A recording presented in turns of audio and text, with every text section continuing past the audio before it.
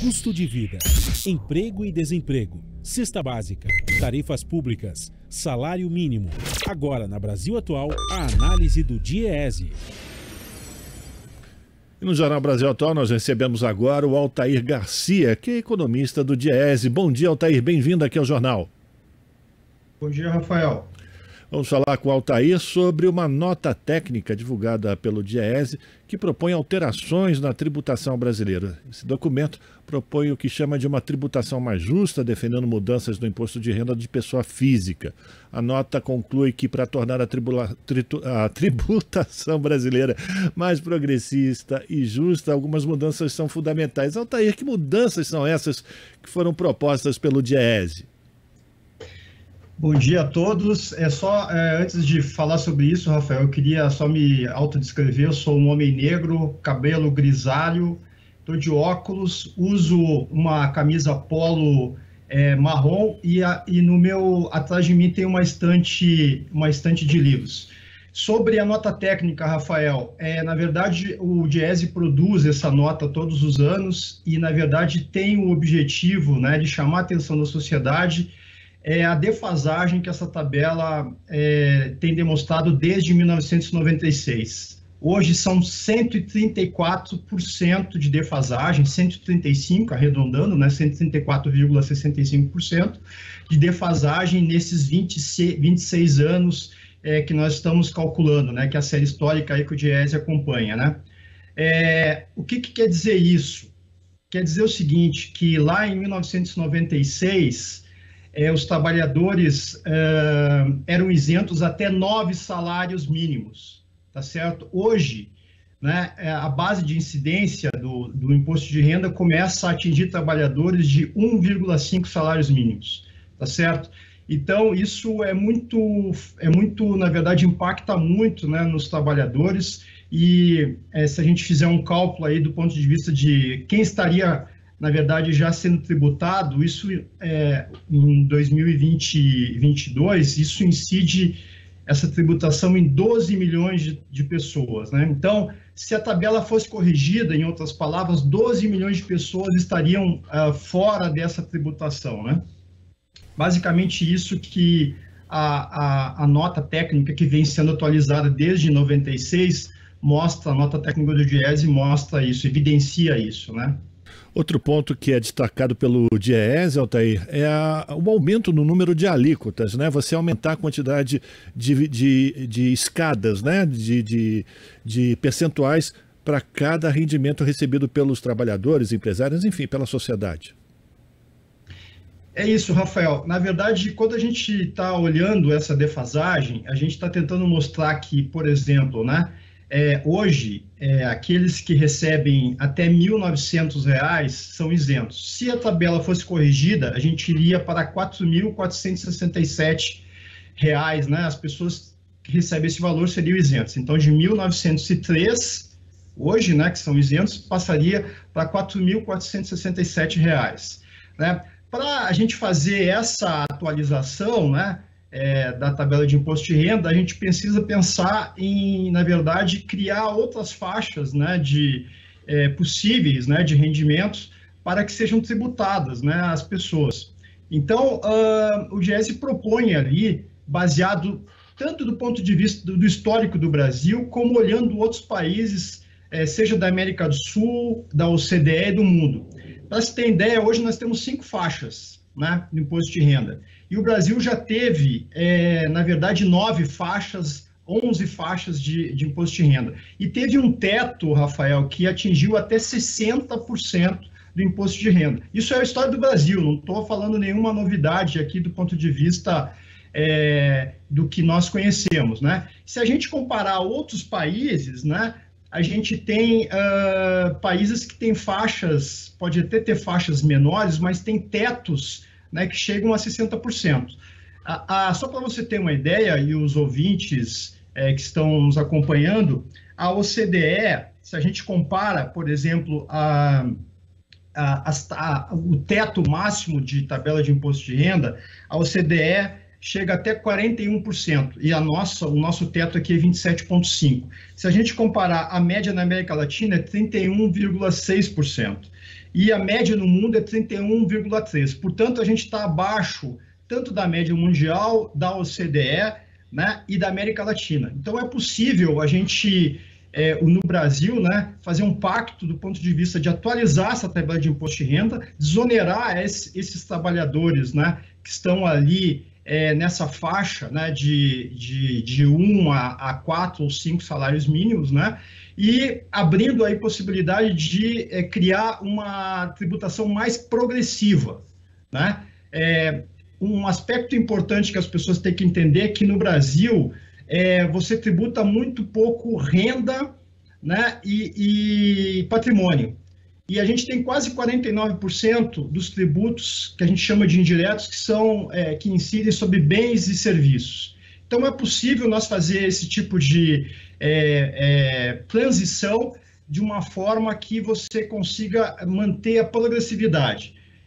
No final, a gente precisa o quê? Tributar, usar um, um princípio da Constituição que afirma o seguinte: a gente precisa é, tributar aqueles que podem contribuir né, é o princípio de, de contribuição. Então, tributar mais quem tem mais renda. E isso não vem acontecendo no Brasil. A gente também é, percebe nas propostas colocadas pelo Diese a eliminação de distorções na tributação que favorecem a concentração de renda, que são recebidas pela renúncia fiscal, né? sobretudo aquelas que têm a isenção dos lucros e dividendos, dividendos que são distribuídos para os sócios e acionistas e os juros sobre o capital próprio. Como é que você avalia essa possibilidade? Você acha que o Congresso Nacional também estaria disposto a rever esse tipo de, de orientação?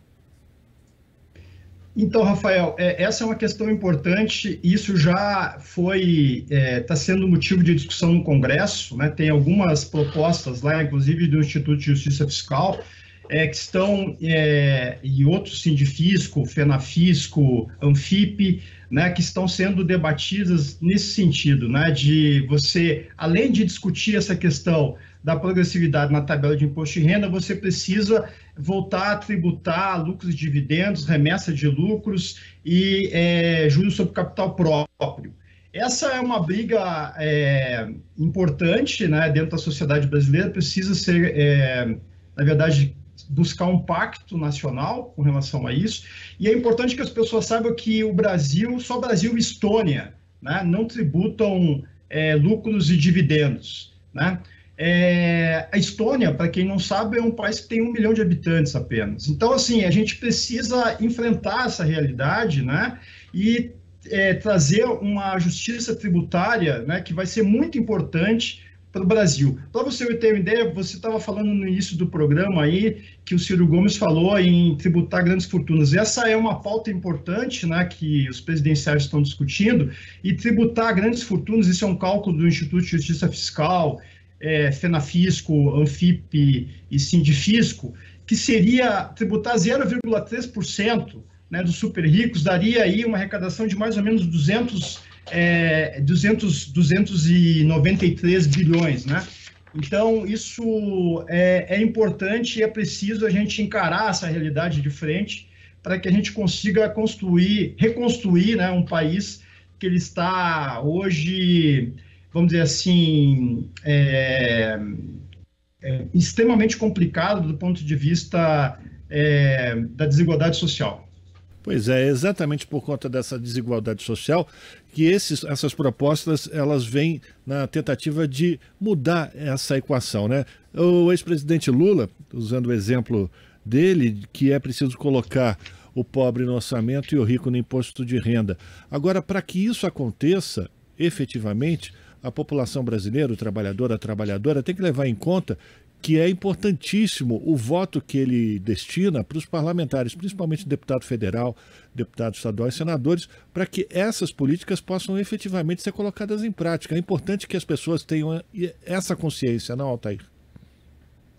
Exatamente, Rafael. É, existe um esforço que a gente precisa discutir no Brasil, é um esforço de compreensão dessa questão. A gente vê aí pelas ruas um, uma, um esforço de é, do impostômetro, por exemplo, de falar sobre os impostos e inclusive de maneira negativa. A gente precisa discutir, na verdade, a questão dos tributos e, e o papel do Estado na sociedade brasileira. Ele tem um papel fundamental, principalmente num país como o nosso, que é um país muito desigual, né?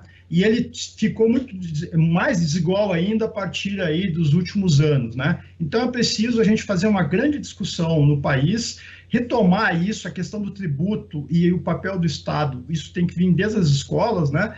Mas é uma questão quase de cidadania, quase não é de cidadania e é preciso que a gente tenha essa preocupação, né, de retomar é, esse ponto, né, da, de uma, de uma tributação mais justa, né? e que busque essa recuperação é, do país. A gente está conversando com o Altair Garcia, que é economista do DIES. Essas propostas foram entregues, imagino eu, para todos os candidatos à presidência e também a todos, aberta também a todos os parlamentares ou todos os candidatos ao parlamento. Todas as pessoas podem ter acesso a essas propostas de que forma, Altair? Olha, isso está no site do Diese, a gente tem feito grandes discussões pelo Brasil com esse tema, né? O movimento sindical também tem pautado a sociedade, os deputados, né? Esse debate, ele é muito importante e dentro de uma democracia, né, que tem que dar eco para essas discussões. É, no Congresso, como você falou, tem duas grandes propostas sendo discutidas e tem, na verdade, a terceira, que é essa proposta que discute né, é, uma tributação justa e solidária. Então, é, é, é, um princípio importante quando a gente discute tributação, cada um tem o seu projeto, todo mundo acha que, todo mundo defende né, uma tributação, uma reforma tributária, mas cada um defende a sua. Então, nós achamos que ela precisa, a, a progressividade tem que estar em todas as propostas, né, do ponto de vista de tornar, na verdade, a tributação algo que é, seja é, solidário e que impulsione o país a, a, a uma agenda desenvolvimentista.